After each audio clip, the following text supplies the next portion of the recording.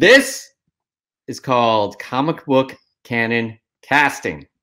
Comic book Cannon casting. All right, and for today, we are going to have fun with this. Chris and I are going to are going to give our arguments as to who we feel like should be cast for about five or six characters um, of the X Men. We all know it's coming. Kevin Feige said at Comic Con last year, X Men are coming. The mutants are coming. I'm super excited for this. Chris is super excited for this.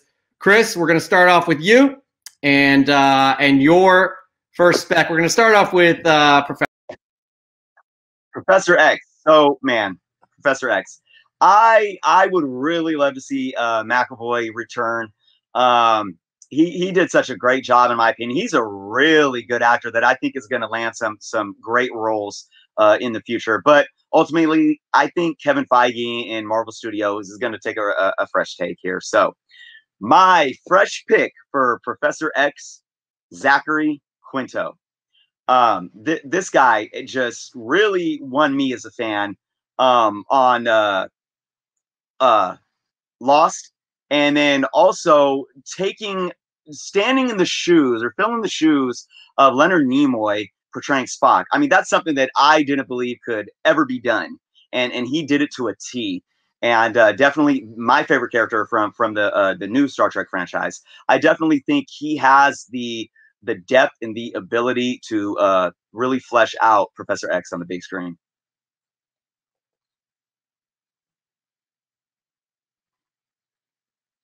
One, but I do I do like I do I do like your your your Zachary Quinto. I think that's a that's a that's a really good call out.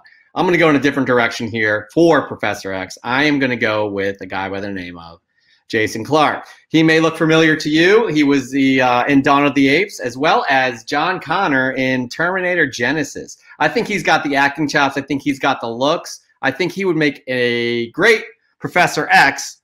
Um, but again, you know, we can't go. There's no wrong answer here in, in terms of us kind of coming up with these these picks. So moving on, we got Magneto. Who do you got, Chris? All right, all right. Another one, Magneto. I mean, uh, Michael Fassbender eh, just did an amazing job. Again, uh, oh, just seeing him on screen, I think was probably my favorite. Some of my favorite elements from from from the reboots. But again, MCU, Marvel Studios, I just feel them taking a fresh uh, fresh slate here. So my Magneto choice uh, might be a shocker. Cillian Murphy. Uh, Cillian Murphy, a lot of you might know him for Scarecrow in the Christopher Nolan uh, Batman trilogy. I just think, I don't think that he gets enough credit uh, as an actor, and I would love to see him in this role. He definitely has a depth behind those eyes, something, something really dark, and I think he can really bring out that duality of the character that is Magneto. I thought you were I thought you were crazy when you first suggested Cillian Murphy, but then I saw that picture side by side with Magneto. I'm like, you know what? If he gained a few pounds, I think I think he would make a good choice. But for me, I have a different choice, and I'm gonna go with Timothy Olyphant. You may recognize him from Justified and even the Santa Clarita Diet. He uh, he he's got he's got a wide range in terms of his acting skills, um, and I, I really think, and he's also got silver hair basically right now, which is which is you know T for uh for for Magneto. But um, I, I really think he's a guy that would be able to kind of have that maniacal uh, presence about him to portray an iconic character such as Magneto. And uh, again, there's no wrong answers, but uh, we will move on to the next character. And Chris, the next character we have is Jean Grey. Who do you got? All right, Jean Grey. Uh, here's the thing, and you're going to see this with a few of my other uh, picks down the line here, but I think uh, Marvel Studios is going to go young with these characters. I think uh, they obviously want characters that can, uh, or actors and actresses that can play these characters for, for 10, 15 plus years. So my choice for Jean Grey, Millie Bobby Brown. Yes, Millie Bobby Brown, 11 from Stranger Things. Now, she is currently 16 years old, right? So you're like, well, man, that that's crazy young.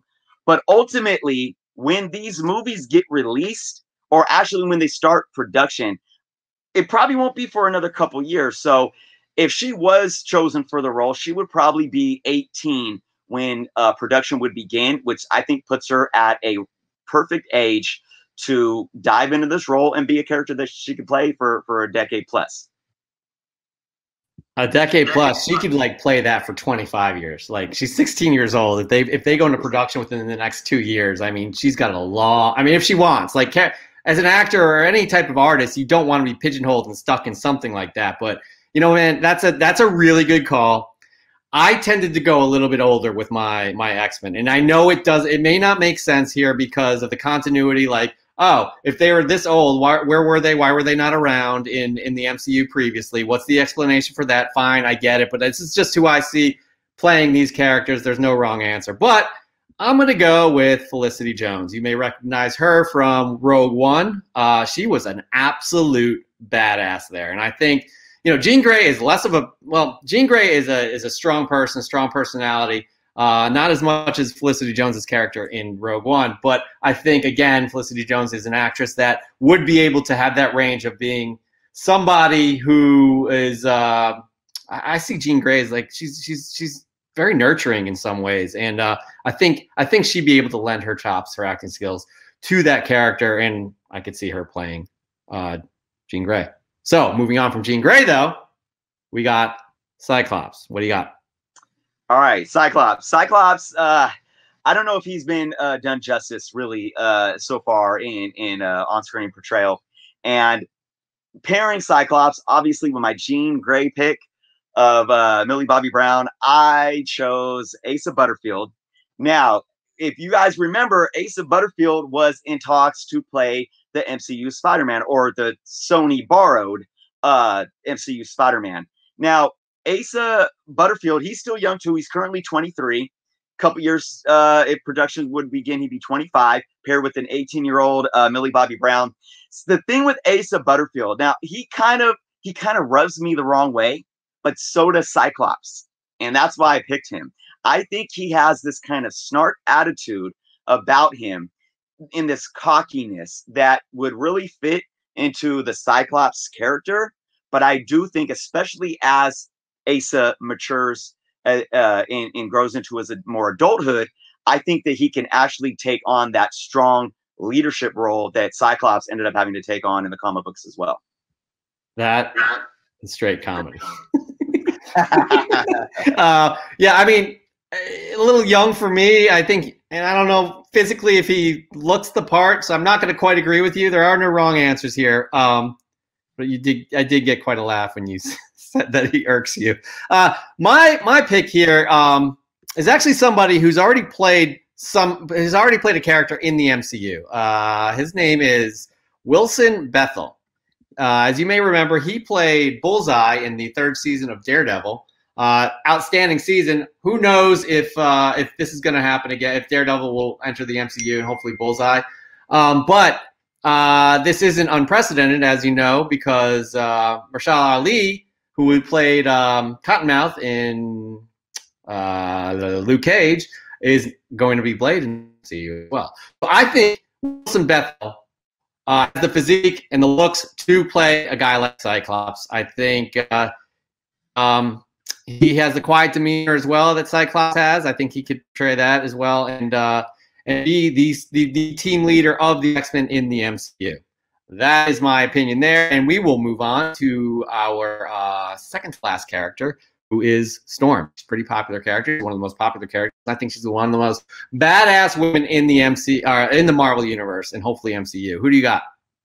Yeah, you know, again, I, I went young, and and I will just say, uh, you know, Marvel Studios and their casting um, has just done an amazing job. And regardless of of our fan picks here, I have extreme faith in uh, Marvel uh, Marvel Studios casting, uh, especially pulling out young actors and actresses that really have no resume, and they've they've all just done a great job so far. And my pick here was uh, Yara uh, Shahidi. Now, uh, I've seen her on Blackish. You guys may have seen her as well. She's, I think, I do believe she's only like 20 years old uh, currently, and she started young on, on that show. And I just, I, I, haven't seen too much of her, but I, I like the uh, her her screen presence uh, and what she brings to the table. I, I haven't seen uh, too much depth in her, but she's one that I can look at and say, if Marvel Studios was to go with someone like this, I, I, I think it's because they see the growth potential in her. I, I think she definitely has a, a strong, demeaning, uh,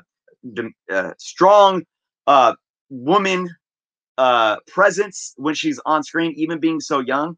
And I think that can definitely uh, be uh, brought out in, in a Storm character.